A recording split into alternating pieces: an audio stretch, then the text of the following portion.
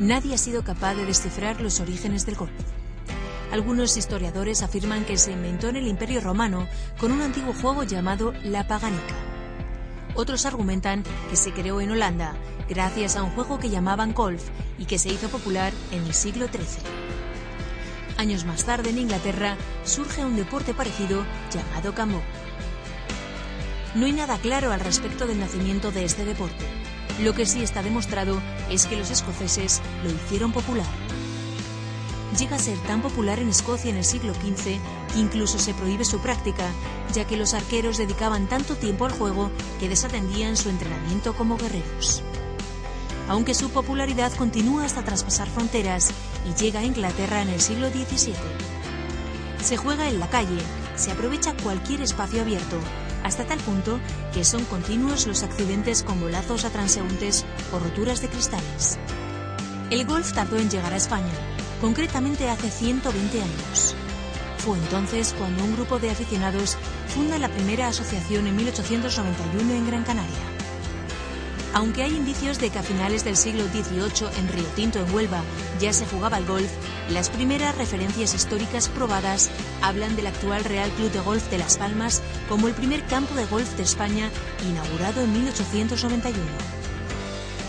Le seguirían el Real Club de Golf de Puerta de Hierro en Madrid en 1904 y el Real Club de Golf de San Sebastián en 1910. En esa época llegan los primeros profesionales ingleses y el golf comienza a practicarse en España. Inicialmente en los estratos más altos de la sociedad. Así hombres y mujeres acuden al campo a jugar ataviados con sus mejores galas. La afición sigue creciendo y surgen los primeros buenos jugadores que provenían de la cantera de los Cádiz. En cada club hay centenares de Cádiz, jóvenes y niños que además de ganar un dinero, comienzan a dar sus primeros pasos en este deporte. Grandes campeones como Severiano Ballesteros aprendieron a jugar siendo Cádiz.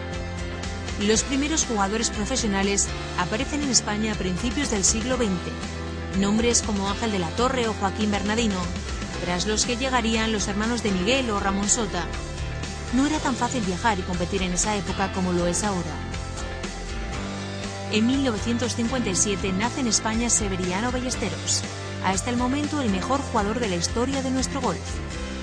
Seve fue el mejor del mundo, conquistando entre sus victorias más importantes dos Masters de Augusta y tres abiertos británicos.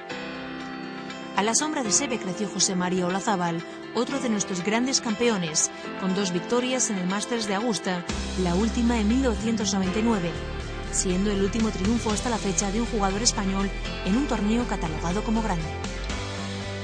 En la actualidad tenemos muchos profesionales, prometedoras estrellas del golf, más de 440 campos y más de 330.000 jugadores amateurs. El golf es el tercer deporte más practicado por detrás del fútbol y del baloncesto.